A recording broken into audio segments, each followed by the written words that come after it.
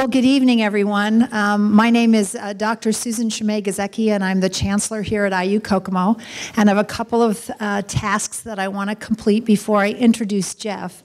First of all, I want to welcome you to Indiana University Kokomo, and I hope that if you get an opportunity that you'll walk around the campus we're very, very proud of the campus and its growth and all the things that have been going on here. And probably the most pride we have right now is a $14 million renovation of the main building, which is one of the building's uh, kind of kitty corners. So if you get an opportunity, please feel free to walk through the building uh, and take a look at this resource that is available to everyone here in this particular region. Second of all, um, what I want to do is to let you know that there will be some books for sale. Jeff's book will be for sale out in the lobby. So if you're interested in some of the conversation that happens here tonight, we would encourage you to buy the book. It's really, really good. Um, we do have a group of students from IU Kokomo who are here for class tonight, and they've decided to come here instead, Jeff, to get your wisdom. So would my students kind of stand up and wave so everybody can see a uh, good group of students that are here taking summer classes. So really proud of them being here.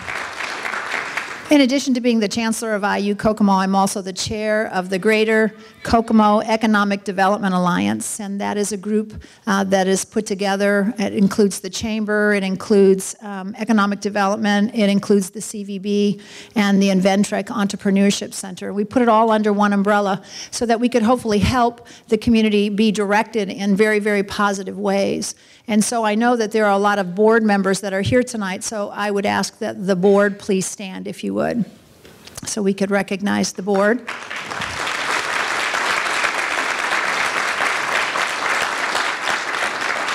And the reason that I singled the board out is because we are sponsoring this particular event uh, here at IU Kokomo for a real particular reason. The board has made a real uh, concerted strategic effort this year to be sure that we are including more and more voices from this community into the direction of this community. We believe that right now there is a tremendous amount of positive energy in this community. Would you agree? Yeah. Yes. And so what we want to do is we want to be sure that we have more and more people joining us in that positive energy. Now, one of the themes I have at IU Kokomo is it's called Mojo. We have Kokomojo, is what we say. And Mojo is having a positive energy to direct positive change in a community. And what we want to do as a board is we want to convince all of you to continue to have that positive energy around our community. Because if we all have that positive energy, uh, we know that we will move this community in amazing ways. And so, what that means for us is positive talk about our community. Anytime and every time that you have the opportunity, we need you to talk about our community in very positive ways. We know we still have challenges in this community, but let's talk about it in positive ways and constructive ways of how we will fix it. Let's shop in Kokomo. Let's dine in Kokomo. Let's take part in events like this in Kokomo. So tonight we're sponsoring this event because we want to include more people in conversations about our community. And this is one way that we can do that. And we're so pleased to see the turnout here tonight. And I ask and I challenge each and every one of you that when you leave here tonight, that you lead from where you are from where you live, from the parts of the community that you're involved in, in your church, in your social environments, or whatever. Make this community better and join us. And we're going to try to sponsor more and more of these kinds of events and more conversations to include more people from all parts of our community. So I want to thank the board for their um, leadership in sponsoring an event like this. We want to be sure that we're behind our mayor, that we're moving this community forward. He can't do it by himself. We know that. The city council can't, the county council can't. It's all of us, right? And I think we're going to hear some great news from Jeff tonight about our community. So with that, I'm going to transition right into an uh, introduction of Jeff. Jeff is a city planner and an urban designer who advocates internationally for more walkable cities. As director of design at the National Endowment for the Arts from 2003 to 2007, he presided over the Mayor's Institute on City Design, and he created the Governor's Institute on Community Design. Prior to his federal appointment, Mr. Speck spent 10 years as director of town planning at DPZ and Company, the principal firm behind the new urbanism movement. Since 2007, he has led Speck and Associates, a planning firm that specializes in making American downtowns thrive. He's the co-author of a couple of books, The Smart Growth Manual and The Suburban Nation, uh, which the Wall Street Journal has called the Urbanist's Bible. His latest book, Walkable City, uh, which is the book that we all hopefully have read to, uh, tonight, um, which the Christian Science Monitor calls timely and important and the best selling city planning book of 2013 to 2015. As I said, this book is the reason that we're here tonight. It is an exciting, profound impact on the design of communities nationwide. The recent work of Speck and Associate includes walkability studies for communities like Lowell, Massachusetts, Memphis, Tennessee, and Grand Rapids, Michigan. Jeff works on downtown master plans, downtown street plans, urban waterfront studies, and the one that I found most interesting is his work on neighborhoods, which I hope if you get a chance to read the book, you'll read about because I think there's a lot of potential for us on that one. Jeff has a Master of Architecture with distinction from Harvard Graduate School of Design and a Master of Fine Arts degree in Renaissance Architectural History from Syracuse University in Florence, Italy. So please help me welcome Jeff Speck. Thank you. Thank you so much for that kind introduction. I, I, only at universities do they give like the long resume, where they tell you, tell, where they say where you went to school. Um, thank you, that was very kind. I'm so excited to see so many people here. We were talking about the hall. Oh, it sounds a little big, but it's full. Um, there's three seats. If any of you, I know sometimes you stand by the door because you want to escape if you need to escape. But there are three seats here and one there and a few others. I will not be disturbed if any of you come and sit while I'm giving my introductory remarks. And uh, could I see the students? Could you wave? Oh, that's just great. Thank you so much for coming. I love, uh, I love it when young people come. And um, I'll get right into it. I have so much to tell you. This is supposed to take an hour. I have like six hours, but I'm going to try and do it in an hour. And um, um, I talk all over the place, and I'll be completely honest that this is a template slide, and I change it. I pull up the last one on the airplane, and I change the name of the city and the date.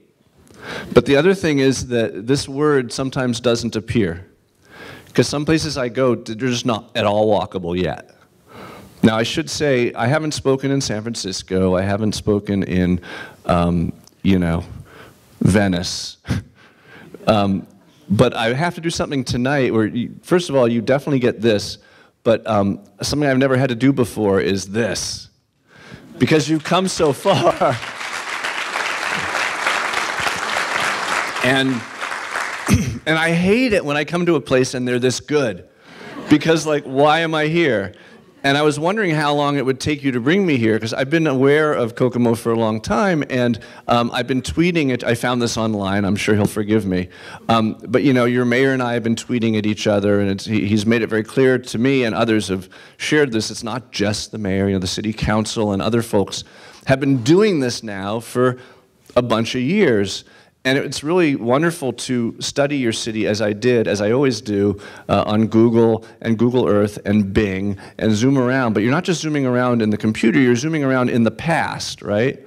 In the same way when you look at a star, the light is coming, for, you're looking at history, right? Because the star, the light's coming from you from such a long time ago. It's the same thing going on Google Maps and looking at a city. And then you arrive and you see what's happened in the, in the maybe five years or seven years since those pictures were taken, and it's really it's really quite amazing. And there, the, I think there's a little help I can offer you, but the the the main you know revelation of my, both what I saw online, but what I see now. Um, moving around here is that there's plenty I can learn from you, um, and that you really um, you're you're you're already on third base at least, but maybe we can get a little closer to home plate um, by the end of the night. Um, so um, I wanted to talk a little bit about the three main motivations behind the work that I do. And I, um, this is a talk I don't, this is a part of the talk I don't usually include, but I thought in a town that's doing so much to be walkable, it might be nice to motivate you a little bit. And I should say, I'm giving you the very short version. The longer version, which is only 17 minutes long, is at TED.com. If you, it's also the first three chapters of my book. You've already read the book, right? All of you? Um, but if you want the 17 minute version of this talk, um, it's at TED. But the, basically, the discovery um, I had as a planner was spending many years, and, and my colleagues before me, who I'll tell you about, spending many years arguing for more walkable places um, for perhaps all the wrong reasons, but for the reasons that we understood as planners. You know, that we just liked walkable places better. And we didn't even call it walk. We were using the wrong terminology. We were calling it neo traditional planning. We were calling it new urbanism. We were calling it good urbanism. Different words that meant different things or nothing to many different people. And um, we were complaining about the, you know, anomie of sprawl, the ugliness of sprawl, the, the fact we feel disconnected, perhaps the social impacts. But what happened was that there were these three other groups of people who people actually listened to. And to go back a little, the economists, the environmentalists, and the epidemiologists, the doctors, who were telling, who were each kind of singing from their own hymnal, yet advocating for the same stuff that we were advocating for. And this was a real revelation to me that these issues could be discussed in terms that meant a lot more to people. So I made it my, my work to learn their arguments. The economic argument, um, it's a long one. Um, there are two parts to it, kind of a good part and a bad part. The bad part is, you know, what's happened from 1970 until now, and in the 70s, or really until the 90s. From 19, in 1970, we spent 10% of our income on transportation as Americans. And between 1970 and 1990, we basically doubled the number of roads in this country. And what that accomplished for us is that in 1990, we, sorry, it was 2010, 1970 to 2010. By 2010, we spend 20% of our income on transportation. And what we did was we changed from a system in which the automobile was a um, you know, instrument of freedom to a situation where the automobile was a prosthetic device that you actually needed to live your life. We redesigned all of our cities around the automobile, therefore necessitating automobile ownership. And so we have this situation now where we're spending twice as much on transportation as we ever have before, where working Americans, as defined by the federal government, are spending more for transportation than for housing, and that poor Americans are spending 40% of their income on transportation. So that's a very negative side. The positive side that the economist Chris Leinberger talks about in his book, The Option of Urbanism, is that cities are really coming back, and downtowns are really coming back, and the American economy has revived itself in city centers, where many more patents are being created, where much more, you know, much more value is being generated, and interestingly, where there's a real estate boom because this is where people want to be. And the transition we talk about now from when I was a kid to, to these days is that, you know, I was raised on Brady Bunch, Partridge Family, uh, you know, Happy Days, other suburban shows on my TV made me well, failed to make me admire the suburban life, but certainly they, they set that in my brain as the American dream. But the kids today, these kids today, were raised on Seinfeld and Friends and Sex, on the, Sex in the City and How I Met Your Mother and all these other shows, and that they were, that wasn't just a cause, it was a symptom of a cultural shift. People want to live in cities now. And so cities and downtowns are coming back. And it's not just whether it's urban or not, or how dense it is, or how tall the buildings. It's a question of lifestyle. And there's lots of different things that distinguish the urban lifestyle from the suburban lifestyle. But the principal one is how, how do you get around? And are you able to walk and bike and take transit and get where you're going um, that way? Or are you still dependent on this, you know, this two, two ton piece of steel to get you everywhere? And that's the principal distinction um, the, economically. Now, the environmentalist discussion is a very interesting one. Environmentalism has switched from when I was a kid to being just about you know saving the earth uh, in every possible way uh, to the one central thing that everyone seems to care about. This is New York City after Hurricane Sandy, which is these imp the impacts of climate change, which we're feeling already, and um, it's interesting if you study the environmental movement in the US, it's historically been an anti-city movement. It's always been about, you know, going and stripping your clothes off and running off into nature and being one with nature. And um, that was only hammered home more so when we started to count carbon because we would measure carbon per square mile. This is Chicago. And what inevitably happens when you do that is that the cities are the hottest and the suburbs are cooler, and the ex-urban areas where most of the, you know, the most sprawl is, are the coldest, the least carbon.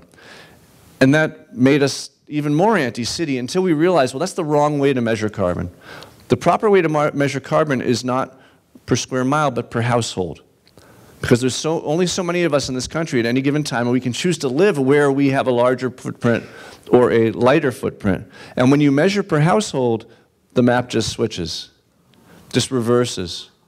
And so suddenly, you know, and th this is why, I mean, New Yorkers use one third of the electricity of, of Americans and, you know, one quarter of the gasoline because of all the efficiencies that come from being in, in areas where they're not auto dependent. But it isn't just the car, it's that when you spread out and have the bigger house and the bigger yard, getting services to you, right? Getting electricity to you, getting mail to you, getting everything to you is, is less efficient.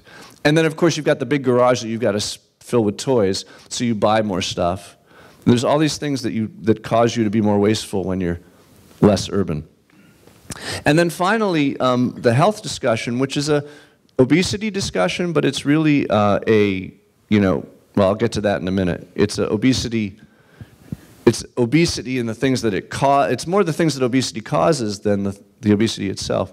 But the, the, the most amazing day to be a planner in America, I like to say, was August 9th, 2004, when this book came out. And these three doctors, or actually it was two doctors and a planner, the cute guy's the planner, right?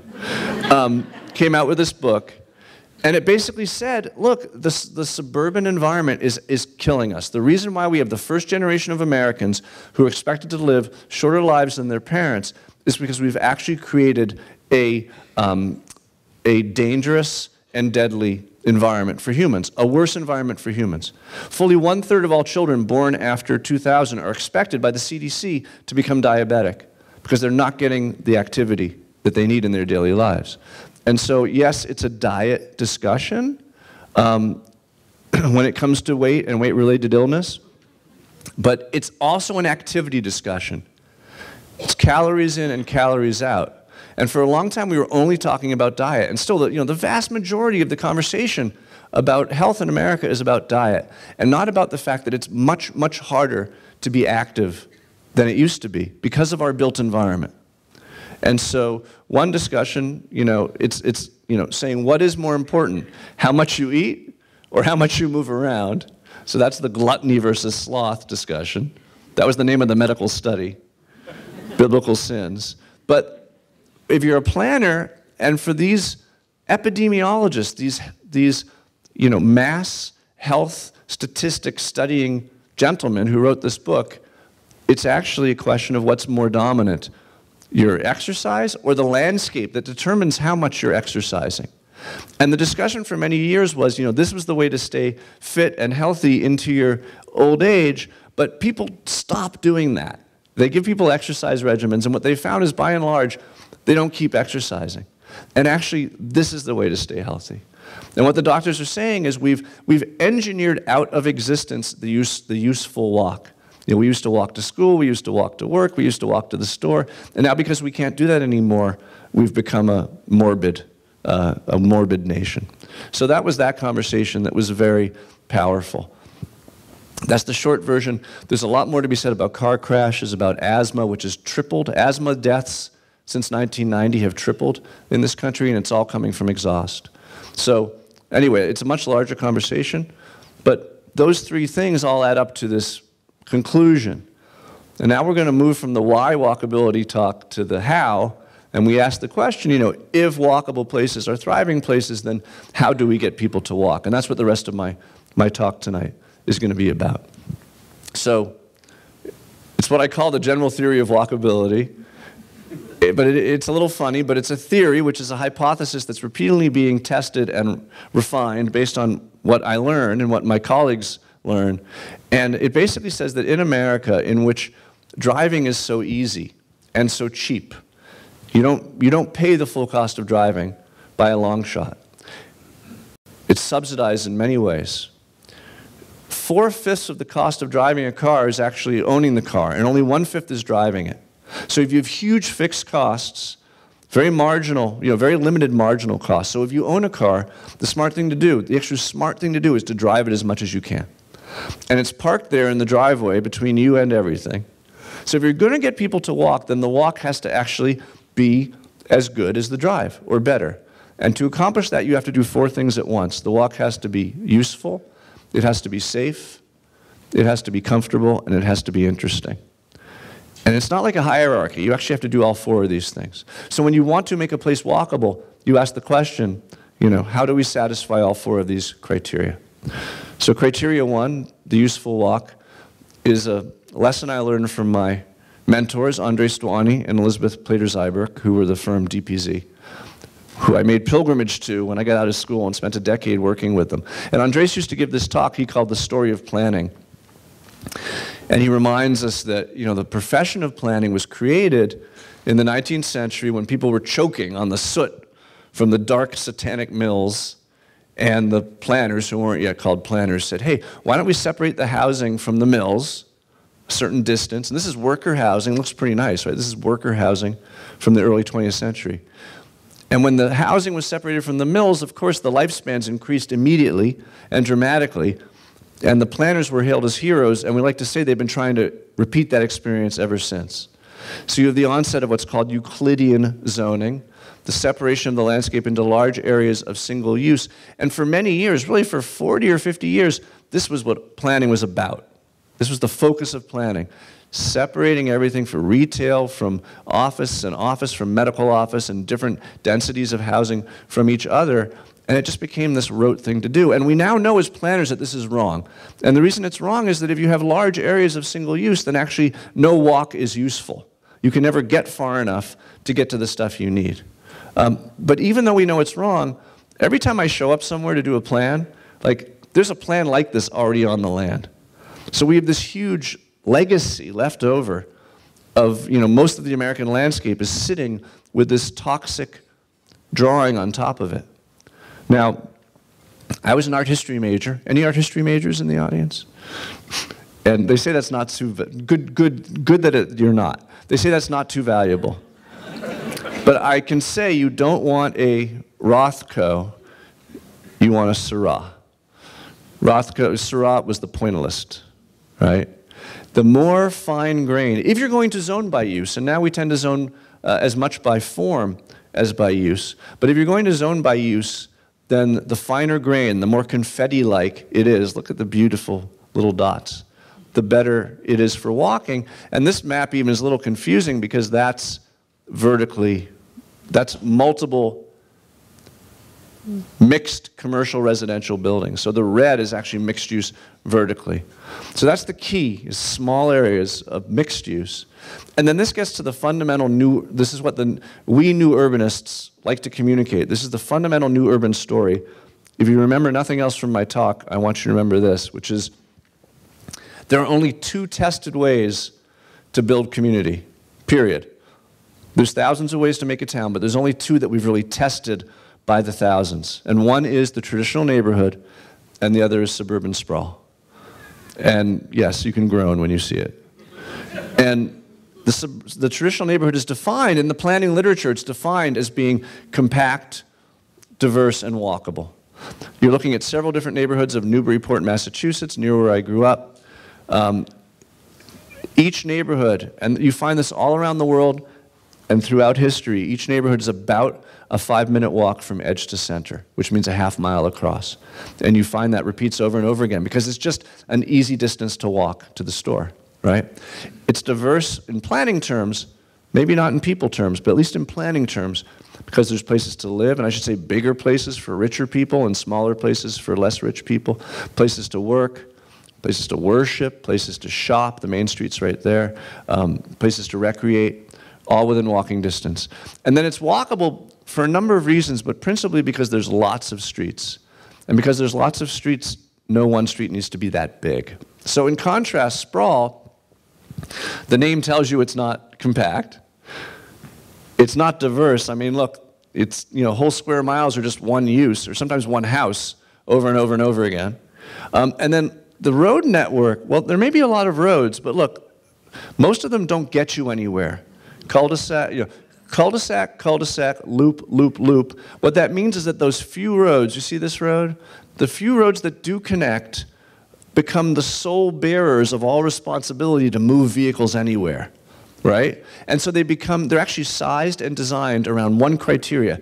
How many vehicles can we move how quickly? So they become automotive sewers, right? They become noxious. Notice these houses turn their backs to them. There's not a single address on these entire lengths of streets. Think about the waste of the infrastructure, not one address.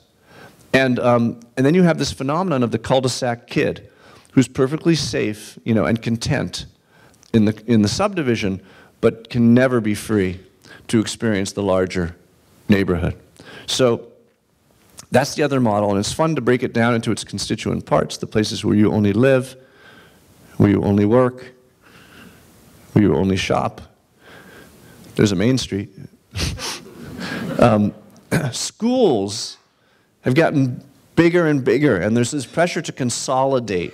School systems are consolidating. When you consolidate, you separate. The bigger your school, the further it is from you. It's just math, right? It's, it's geometry. The larger your school is, the further it is for you to get to. And we tend to make the schools so big. I mean, look at the ratio of the parking lot to the school. It tells you all you need to know about this school, which is that no student has ever walked or will ever walk to this school. And in fact, the seniors and the juniors are driving the freshmen and the sophomores with the death rate to prove it. And then sports facilities, too, consolidated, so separated. So this is Weston. Their uh, billboards say the feeling of a great small town. It's west of Fort Lauderdale. And they're very proud of their eight soccer fields and eight baseball diamonds. But this is why we have the soccer mom in America. You know, when I was young, there were no soccer moms. My mom, so happens, didn't work. But I got everywhere on my own because in my neighborhood, there was one soccer field and, you know, one baseball diamond and two tennis courts. So the kid who lives here is actually driven by his mom or dad, you know, a mile to get there. And of course, this is an automotive sewer, so he's not going to be allowed to bike on it. Um, and of course, there's also the fact that this doesn't connect, right? So when you separate everything from everything else and reconnect it only with automotive infrastructure, then of course your highway system becomes your commuting system. It's the part we forgot to count. When the great sprawl model was invented, no one counted the cars and realized how many roads we'd need to tie people's lives back together again. So I always tell people, you know, for some people this is the American dream, but it's a two-part dream. You can't have one without the other. Often to absurd extremes, and the amount that we invest in the horizontal landscape. You know, we rob our churches and our city halls of funding, and then we spend every penny necessary to make sure you never have to wait more than one light cycle, right, at any intersection. Because if you have to sit here I figured out why. This environment is so banal and mind numbing and degrading that if you have to sit here for more than one light cycle, you actually just want to kill yourself. and so, of course, we make it so that you never have to do that. So, you know, it can be very frustrating to be a driver. This is not Photoshop, this is real. Um, it's stressful on our families, right? All the driving, everywhere, the long commutes, the time you spend you know, in your car. Uh, driving is no fun. Um, and being a pedestrian can be worse. Now, oh, and then the, this is what the doctors have been showing. This slide is 15 years old, and I got it from Howie Frumkin, one of the authors of Urban Sprawl and Public Health. And so, you know, what these doctors said is the reason why we have the first generation of kids in America who are expected to live shorter lives than their parents is because it seems normal and not somehow incredibly bizarre to drive to park, to take the escalator to the gym, to get on the treadmill, to walk, right? And so this is the home of America's first car. And I've seen a couple slight cringes in the audience as I attack the automotive lifestyle. And I'm cringing myself. I understand. I love. I happen to love cars. I always like to own sports cars and drive them fast. Um, but I, I, think it's important to understand our relationship to the vehicle and one in which it becomes our, it's our tool again and not our, our master. But I was shown the first car and enjoyed it briefly. Then I immediately got angry and started doing mean things to my fellow motorists. Uh, but my point is, This is my last, this is, the, this is where I'm going to stop talking about our making new places and start talking about the places we have. But this last seven minutes has been about how we make new places in America because we're still making them. We're making the equivalent of cities every day across this country, especially right now. I'm working on many of them. Um, but there's only two models. It's the same stuff, but how big is it and is it separated or is it integrated? And of course, you've got both. Look at that on the right, and look at that. You've even got the green, chewy green center, right? It's, it's beautiful, this model. And you've got this, and you've also got this. And everyone's got both. Um, but it's important to understand that, that they're, um, they're two different models, and you should only be building the one that allows you to drive and walk and bike which is the one on the right. So now when we talk about existing places, but especially when we talk, especially when we talk about our downtowns, and let's face it, the part of our city or the parts of our cities that are, have the potential to offer that walkable lifestyle are the downtowns. And if you don't believe me, try putting a 7-Eleven in a housing subdivision and see what happens. But right, we're in this, we're in this useful walk category, and a walk to be useful has to have mixed use. It's much easier to have mixed use by integrating the workplace than it is by integrating, in terms of use, the home neighborhood, because it's very hard, if not impossible, to bring other uses into residential neighborhoods. So the, the downtown is the great hope, and when you look at the downtown, or other main streets, right? It doesn't have to be just the downtown. Any main street that has commercial activity has the potential to be walkable. Then you ask yourself, okay, the more uses, the better. What, what uses are missing and underrepresented? And in the heart of most cities, including yours, there isn't anywhere near as much housing as there is other stuff. And the better balance, the more lively it is, and the more of a 24-hour city, or at least an 18-hour city that you have, with supervision of the streets around the clock, and a restaurant that has lunch, lunch business and dinner business, right? That's a much better restaurant if they can do both. So the main message of this whole useful category in most cities, and yours too, is the city should be doing, should keep doing, because it's already gung-ho about housing, but the city should really be working to put more housing in the center, and particularly housing for people who are ready to move to a city center, which means attainable housing, housing for millennials and you know, people in their 20s who really aspire to that lifestyle, but that means it can't just be the luxury lofts that you might have a limited audience for that every city does. And when the housing comes, of course, everything gets better and um, starts firing on all cylinders, to use an automotive analogy. and then finally, just because every now and then I come to a city and I have to stay at the courtyard out by the highway, you need a hotel.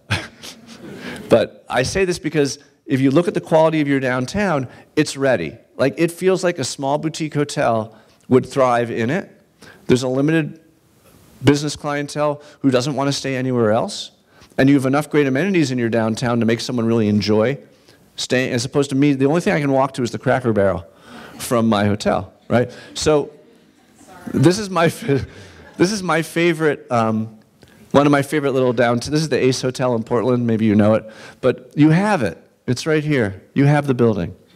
So, um, you know, it's ready to go. and, um, you know, don't try and make it any bigger. And, and it may even, you know, here's where I get in trouble, and I mean, it may even be something the city needs to subsidize to make it work. But, but a small hotel of character in the heart of your downtown will do a lot to, also people in hotels, they go out to eat, right? They, they're curious, they walk around. So they're great people to have in your, people like me, enjoy your downtown.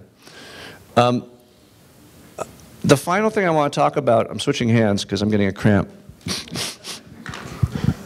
final thing i want to talk about in the um, useful walk is that, yes, the useful walk really relies on transit because it gives you that freedom to get to different parts of the city uh, and not have to own the car.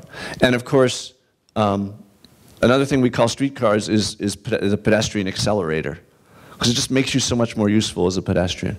You have this great system that's the largest free trolley system in Indiana. And yes, it's getting more it's getting more and more ridership and uh, you know you're a small community to have this sort of transit service um, but it, it, it will it supports your walkability, obviously. And as I was talking to the group earlier today, what's really interesting, even Uber would be good for walkability. People sometimes ask, you know, what should we prioritize, walking or biking or transit or car share or car2go or Uber? And the fact is, anything that allows you to not own your own personal vehicle gives you the freedom that then causes you to walk and bike and do other things based on the choice that you wish to make at that time. And so, you know, it isn't an either or, isn't an either or argument, but I, we, you should be supporting all of these things. That's it. Now, the safe walk is the big category. It's the big kahuna that's going to be most of this talk. Um, we used to mean crime when we talked about safety. Now it's all about like having a fighting chance against being hit by a car, statistically and even perceptually. But you don't have to worry about crime downtown because you have a watchtower that keeps you safe. So I'm glad to see that's out of the way. Now, in terms of being hit by a car, this is a really important diagram, which is that a car going 35 miles an hour is eight times as likely to kill you as a car going 25 miles an hour. And yet, as drivers motor around your downtown, they're somewhere on that cusp. So every detail of the street environment that implies a higher design speed will make it a more deadly environment. And every detail that implies a lower design speed makes it safer. So I'm going to talk about some of those criteria. I'm not going to talk about all of them because you're already doing many of them well. But let's talk about some that may still have opportunity. Oh yeah, and of course, since no one's, none of you are looking where you're going anymore, we have to make it all the safer, and of course, elderly matter as well. So, um, so do that. Someone commandeered one of those signs with it, you know, they hacked into it. So the first, the first uh, item is um, block size. The smaller the blocks, the safer the city. This is Portland, famously walkable, famously 200 foot blocks. There's the scale right there. Portland, Oregon. This is Salt Lake City, where they give you orange flags to cross the street in some places. Famously unwalkable, famously 600 foot blocks. And it's amazing, you know, these are both American cities. Look how different they are. And, you know, uh, the thing is, a 200 foot block city can be mostly a two lane city. And a 600 foot block city is mostly a six lane city. That's what happens. So, 24 different California cities. When you double the average block size, you almost quadruple the number of non highway fatal crashes. So, pretty clear inverse correlation between block size and safety. Here's your amazing downtown grid. And I say that having traveled the world. Portland, Portland is extreme. And here you are next to Portland. So you're like 230, 220, does anyone know? 280, well, that must include the streets. 280 center line to center line, which is fantastic. So, you know, you're, you're definitely doing it right. Obviously, the, the sprawl model has huge blocks. That's one of its characteristics. Here's the, Here's your sprawl area compared to Salt Lake City. But of course, people are trying to walk in Salt Lake City. They're not trying to walk out here. And then you've got this, you know, wonderful courtyard square, which makes you a special place. And even your, this is now getting west of downtown, even your suburban blocks, I mean, it's suburban urban, have the same amazing small scale. And then, just because I've never seen it before, I'm used to small, small streets with alleys. What's this cross alley? What is that? It's amazing. Like, why do you need that extra alley? Does anyone know? Tell me later. Tell me at the book signing. But it's a beautiful little block with a, was it a Christian thing? so that's important. Next is the number of, the number of lanes, obviously. And here's a conversation that I never fail to have wherever I go. It's a conversation that applies to highways, but it also applies to city streets. And I have to have it here because I heard a rumor that someone actually thinks there's traffic here. and my main message is that there may or may not be traffic here, but one thing you should know is you can't solve your traffic problem by adding lanes. This is one thing we've learned. You know, 50 years of study have allowed me to come before you today and tell you with absolute confidence that if you think you have a traffic problem, which you might, it, you, there are different ways to solve it, but one of them is not to increase the capacity of your roads because of a simple thing that's called the fundamental law of traffic congestion, aka induced demand. And what induced demand teaches us is that this is wrong. This is traditional traffic planning. The yellow is the number of trips. Purple is capacity. The distance here is congestion. And the assumption is that when you widen the road, you will absorb that congestion. This forgets, though, the principal thing that keeps us from driving in congested systems. And the, the byword, the one thing to remember from this argument is this sentence. In congested systems, the principal constraint to driving is congestion. And so, I mean, if you think about it, if any of you have lived in really congested cities, you make the choice about when to drive based on traffic. And when there is traffic, you drive less on peak. You might choose to carpool. You might choose to live closer to the city. You might choose to bike or walk or take transit. And when that congestion goes away, you then feel free to move further out.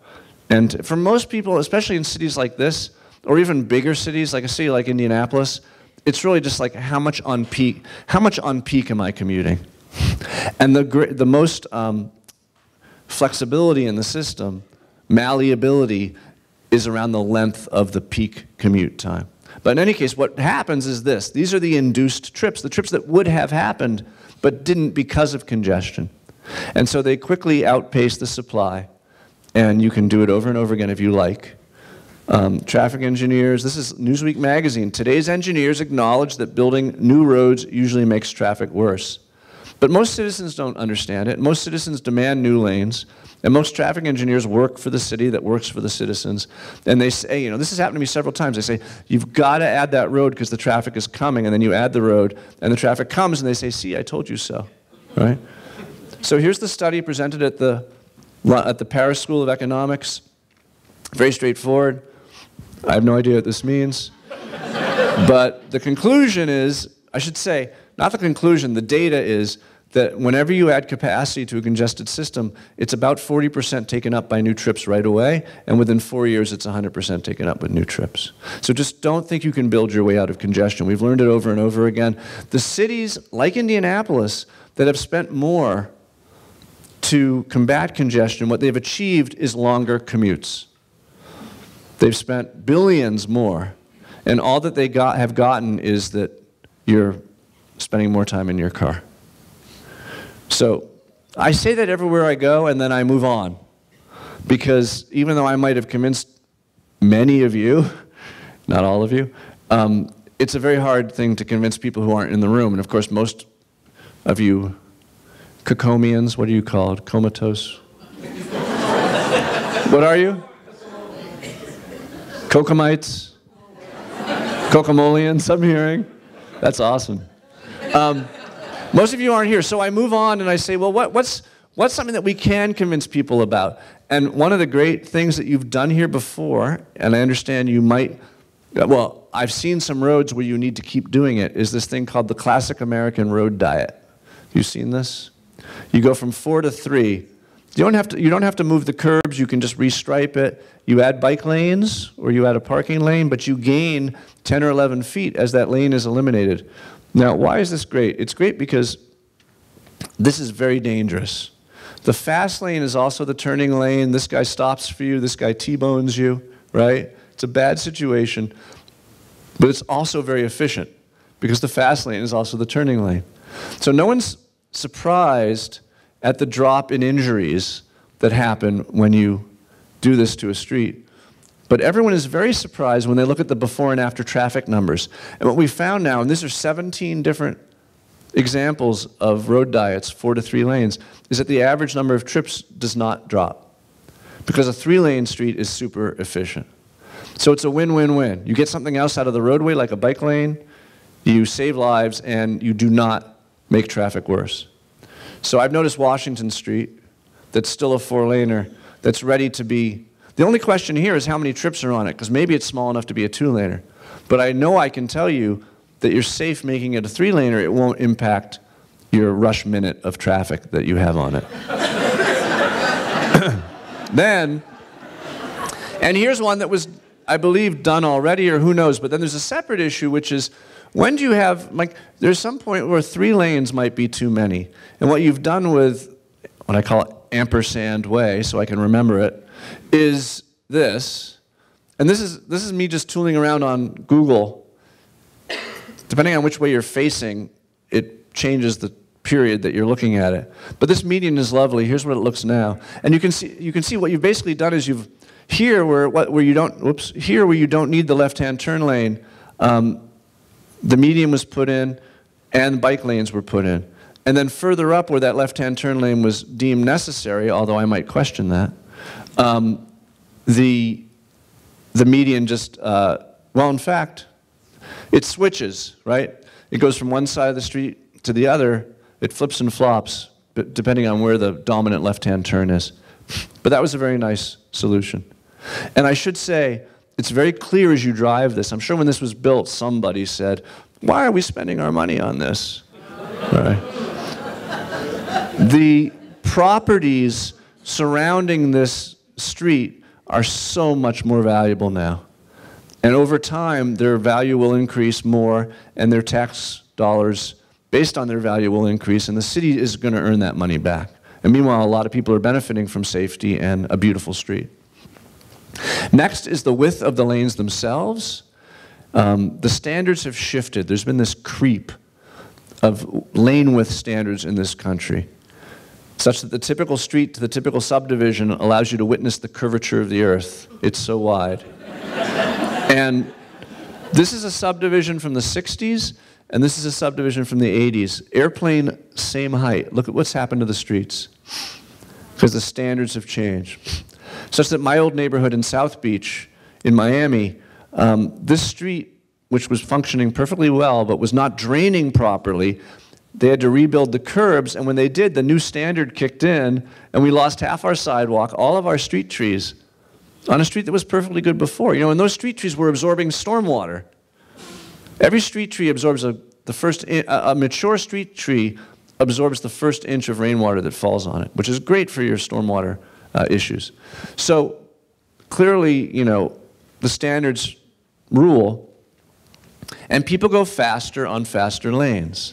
People know intuitively from experience that a 12 foot lane is a 70 mile an hour lane and a 10 foot lane is a 35 mile an hour lane. And we used to have 10 mile an hour, sorry, we used to have 10 foot lanes everywhere in the US.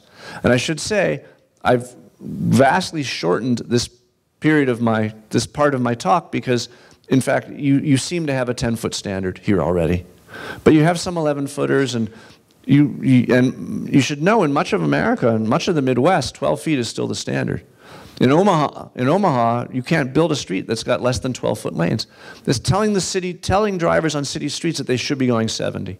So the, the width of the lane is really important. Um, one study suggested this. And you know, my question is, you know, how long is it going to take America to learn? And the answer is, is that America's learning it now. And that the engineers who go to school now are being taught that 10 feet is the appropriate width for city street, for city lanes. I'm talking about heavily traveled through lanes. I'm not talking about a little street that you might live on that could be yet narrower. If you head west of downtown, you find these great little streets, right?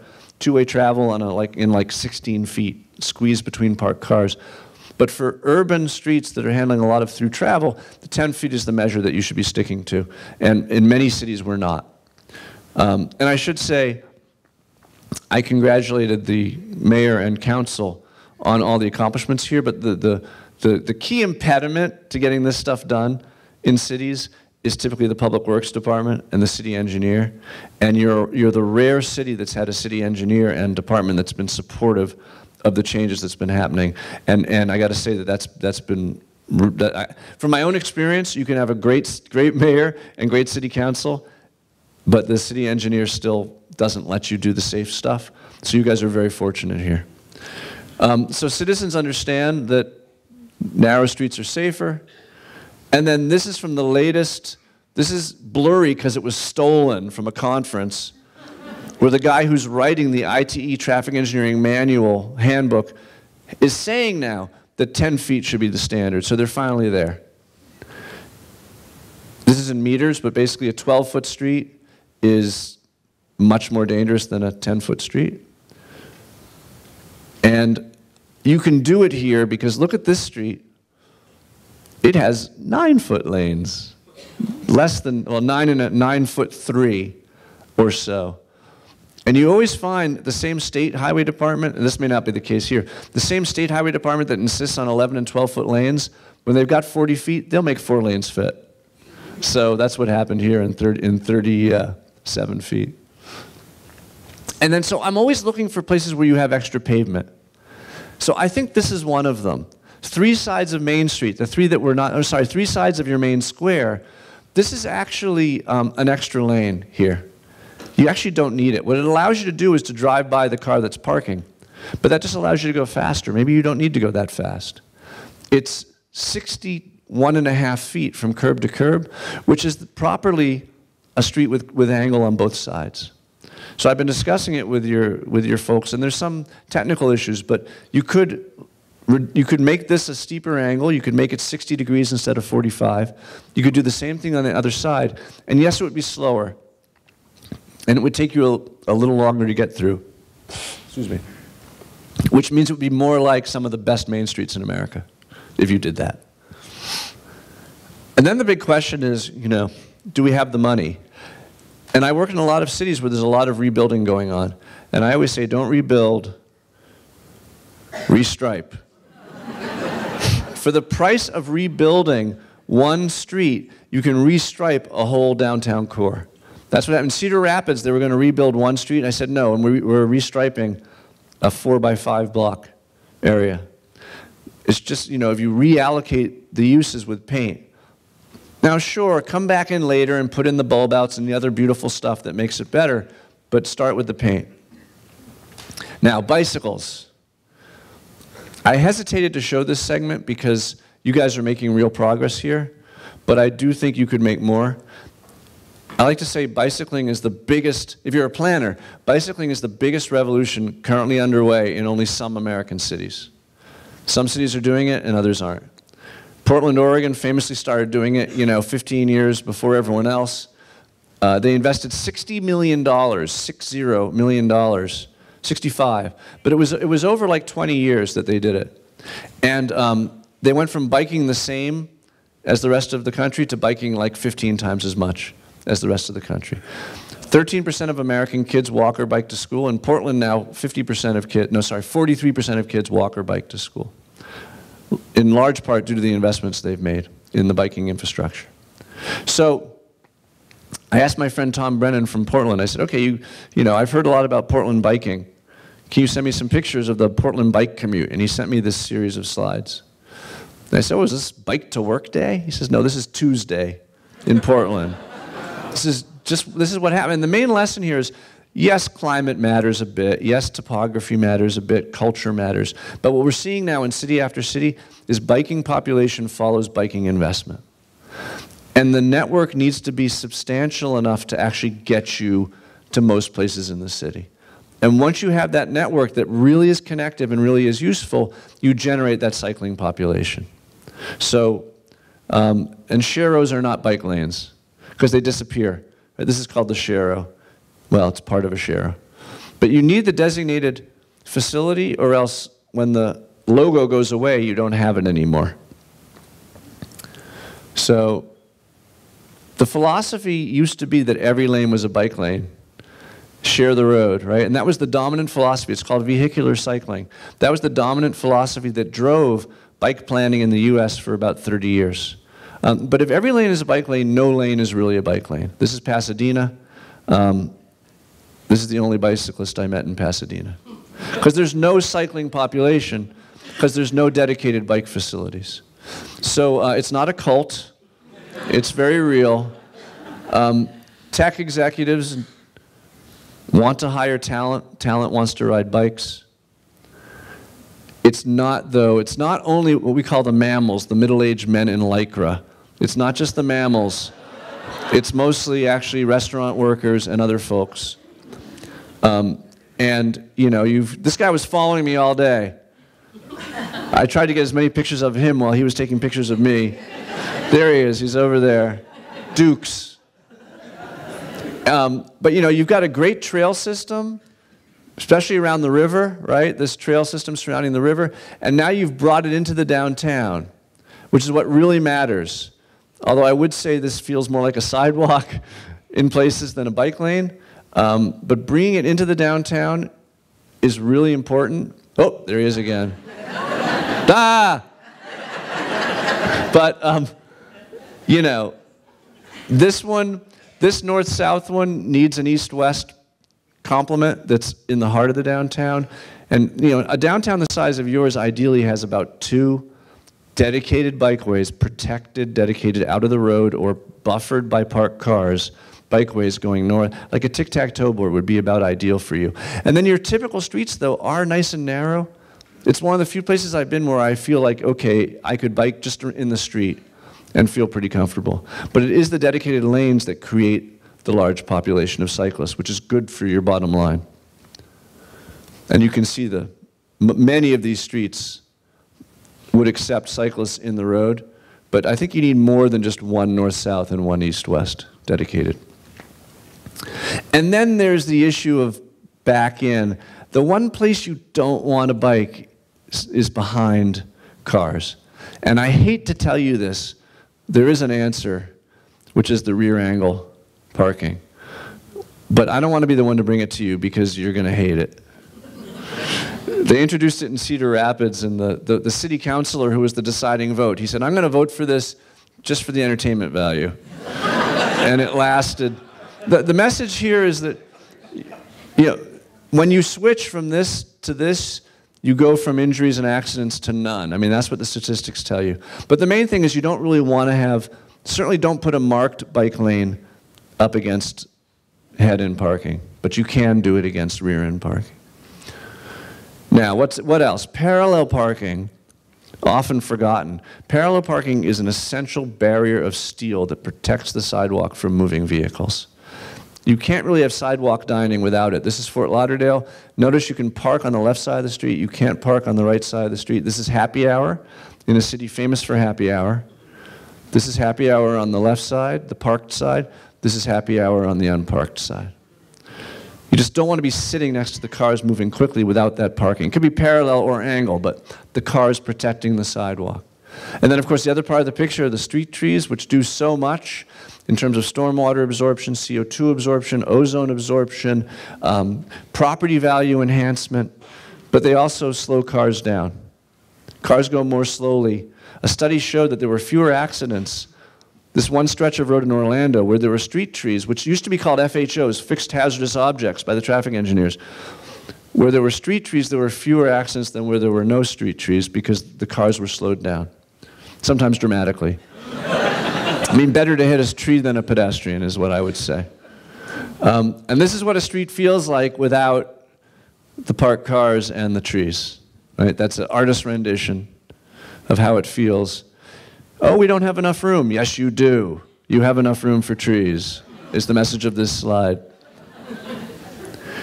And then there's a little trick, like this is something I learned about in San Francisco and actually introduced to Cedar Rapids. This is in Cedar Rapids, this concept of the parklet. Have you done these at all here yet? If you want to have sidewalk dining, but your sidewalk isn't wide enough, you can widen the sidewalk just where you need it in front of the restaurant by taking up some parking spaces. Notice how there's planters on the edge so you don't feel like the cars are about to hit you. But these are a neat little trick. They pull them out and they put them out in the summer and take them up in the winter in Cedar Rapids. And then signals. We are over signaled in this nation. This is a piece of art. This is not a real intersection. This is a, yeah, this is a signal for a roundabout in Carmel. Um, are any Carmelites here tonight? I've done some work in Carmel, so I, I, I, um, I like Carmel, but, but I'm not there tonight. So um, uh, this is the new roundabout. It's called the four-way stop. And I was so disappointed, so disappointed to hear that you've already, you've already learned this. There's two things that I teach many communities that you've already learned and done a ton about. One is to revert your one-way system to two-way. which, by the way, most places haven't done yet and most places need to do. And the main thing I seem to do as I travel around the country is help places go from their two-way from their one-way systems back to the two-way systems. You've already done that. The other thing is, and this is which almost nobody has done, is to realize how much safer a four-way stop is than a signal, and to start pulling out your signals. And I know you've done a ton of them. Some cities, I was working in Butte, Montana. They only had like eight signals in Butte, Montana. They're like, we can't remove, you know, they're like, well, we don't want to be a one light town, right? They thought it would be an insult to have fewer lights. Then a car ran into a light, destroyed it. They had to replace it with a stop sign temporarily, and the, the accidents at the intersection went away. And they said, oh, wait a minute, this works. And the data is actually from Philadelphia, where they had to remove 472 signals. They, they collected data on 199, and they found that when you replace a signal with a four way stop, Crashes went down by a quarter, severe injury crashes went down, and severe pedestrian injury crashes went down by more than two thirds. And this is funny. They said, Traffic engineers in Philadelphia believe that the safety benefit stems from elimination of the local habit of speeding up to beat the red. We don't do that anywhere else, right? It's just Philadelphia. so, anyway, um, I'm glad you're doing that already. It's fantastic. And something that I can bring you. It's the tiniest thing because you guys are so good. But the, the little thing I can bring you is that they just found out last year that in, it happened to happen in, in London, um, that when you remove the center line from a street, they studied a whole bunch of streets. They found that when you remove the center line, you basically stop speeding. So people tend to go five to 10 miles an hour over the speed limit, and this was the reduction in speeds from just taking the center line out. Because you know if you're, if you're on the right side of the center line that you're not going to hit anything, so you feel more comfortable. But if there's no center line, then you feel a little bit less safe. So seven miles an hour is reduced. So you've got some streets that, that don't have center lines, um, and you've got some that could lose their center lines. So think about that. Next time you repave, just leave it out. And then just all the little details that matter.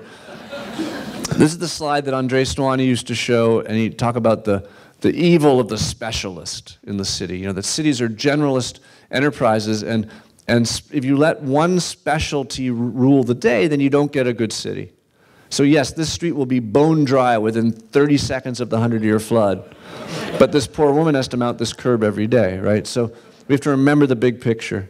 And that's it. So, we're done with the big category. I have two categories left, but they're very quick. Um, and then I have a couple proposals. I will run over, but not by that long. Uh, so the comfortable walk is a little bit counterintuitive. Um, and has to do with the fact that, yes, we Americans like to climb our mountains and see wide open spaces and all that, but actually, all animals, including humans, are simultaneously seeking, the evolutionary biologists tell us, we're all seeking both prospect and refuge. We want to see our prey and our predators, and we want to know that our flanks are covered from attack. And if we don't feel in our bones that our flanks are covered from attack, we're actually not comfortable in a space. So the ideal spaces have good edges. And I always say a plaza is only as good as its walls. And this, of course, is prospect and refuge, which is perf perfect. So we new urbanists have been talking about this for some time now. You know, one to one is the Renaissance ideal, three to one is great. Beyond six to one, you don't really feel enclosed anymore, and you don't want to stay in the space. So, you know, the best places, you know, this developing depot area, wonderful, about a one to one ratio, fantastic. This was a joke. This is a wedding, you know, an engagement photo that an urban designer took just to prove that no one wants to be on this street. Um, where, you know, the houses really aren't high enough. This is like six to one or less, right? And then, you know, six to one vertically is the dream in Salzburg. The opposite of Salzburg, of course, is Houston. And this is old Houston. Houston's much better now. But the main message of this slide, which is why I show it, is to remind us that it is the surface parking lot that's the principal villain in this discussion of spatial definition, of shaping spaces. Um, you know, no one wants to walk next to this. And so I have to show this because I'm in Indiana. I just found this online. The town of Munster, are they near here? The town of Munster, Indiana is studying this beautiful square in Lake Forest, if you've ever been there. and says, We're going to do it. But look at this. My, my laser is not very bright. What makes this square great is these beautiful buildings all around it.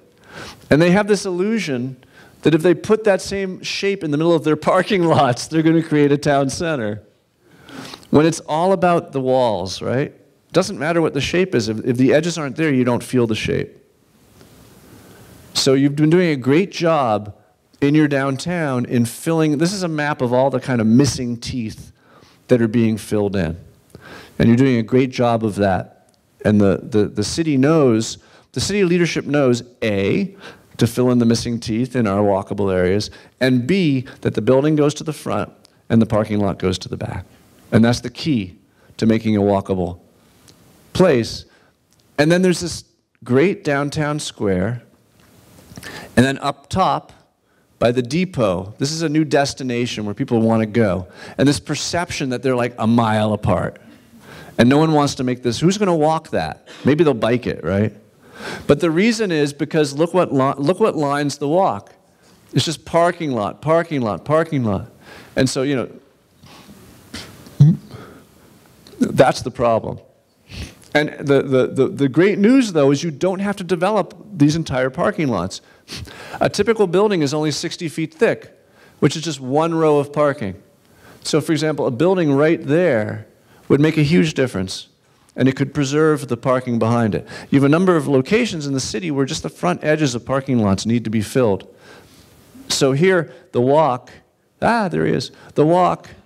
Um, it's a beautiful, it's a beautiful, beautiful path, but you're up against the noses of the cars. And those, that's the place where you should circle the wagons as a community and say, let's identify our key anchors that connect the different walkable parts of our downtown and pick the corridors. This is planning talk.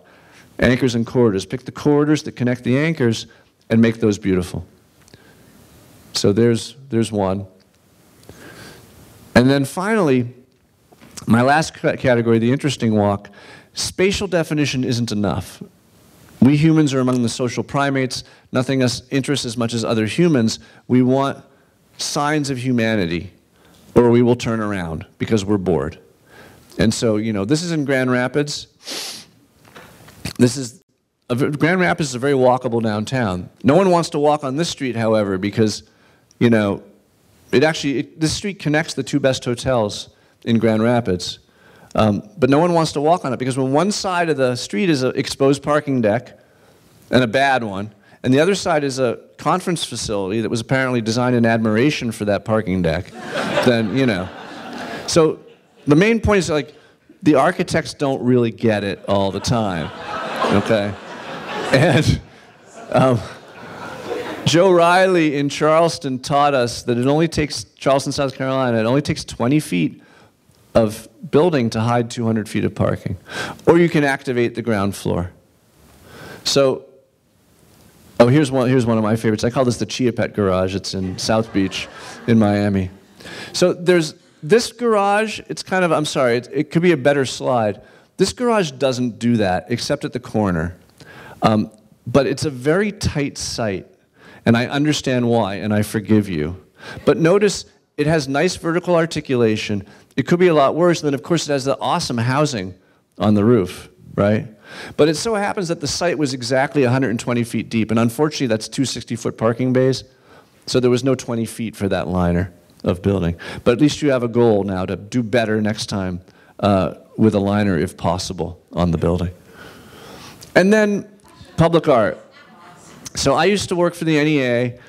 I, you know, we invested in a lot of public artworks, and I really feel that public art has a very specific, um, what's the word, remedial, as in remedy. Public art has a real important remedial role to play, which is that we don't want to walk past blank walls. And certain cities like Montreal, Philadelphia, have amazing um, mural programs. And I think the place for your public art money to go first, if your goal is walkability, is in those boring stretches where you have to have the blank wall. So this is the American version. This is the European version. Um, but you know, just just take care of it, keep it clean.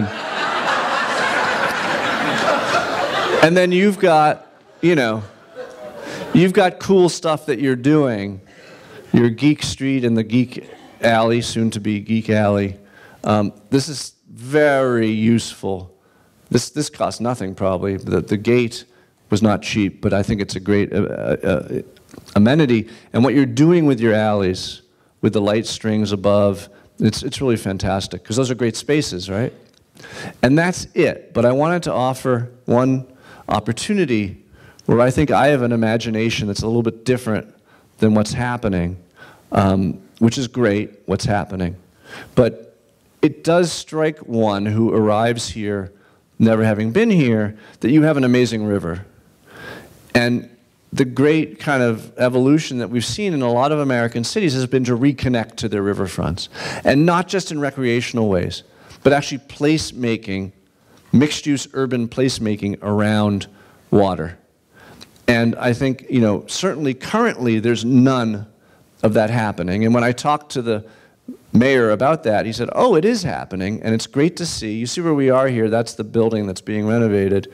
Oh, so of course there's this experience, which is great, but it's not the urban waterfront experience. And there's this plan, which I fully support, to redevelop these buildings on the edge. But what surprised me about this plan is that it, it stops here and also that it kind of it kind of stops here. And what I'm imagining is a is a, a space, a place that's the whole space, that's actually urbanized. Uh, by urbanized, I don't mean hardscape necessarily, but it's a place that you can inhabit all the way from here to the other side. It's a wonderful, intimate space. Oh, and this is, this is the image, of course, that we all are drawn to which is a different condition, and I understand is a different condition, but the San Antonio Riverwalk. And the idea of eating and drinking, but more in communication with the water and with a space that has sides on both sides of the water. And if you look at it, it's really amazing because it's a tiny, it's a tiny intimate space between the two bridges and then the building that's being renovated on the left. And then this is your, this is your transit depot here and some, forgive me, some pretty worthless buildings on this edge, and a bridge up here that's much too wide and can maybe have something on it, and another opportunity here. You're not allowed to park on that bridge, so it has way too much pavement. And the idea that this could be a space where both sides are developed, they interact with each other, you hang some light strings maybe across that, it could be really spectacular. Here it is. But you clear out all the underbrush, you know, leave the trees, clear out all the bushes, step down on both sides, and take this bridge, which has an extra 30 feet in it, do something with the edges, like a Ponte Vecchio style experiment, and just make a space out of it. So that's because you're so far along, I had to push the envelope a little further. But I would be very excited. I now have a reason to come back to work on this, uh, on this scheme. So I think that's everything. Oh yeah, so there's the, I'm sorry, there's the edge uh, against the transit center, which could be turned into a mixed-use building that frames the water on that side. Um, that's on the right side of this slide. Then here's the other side, as you know.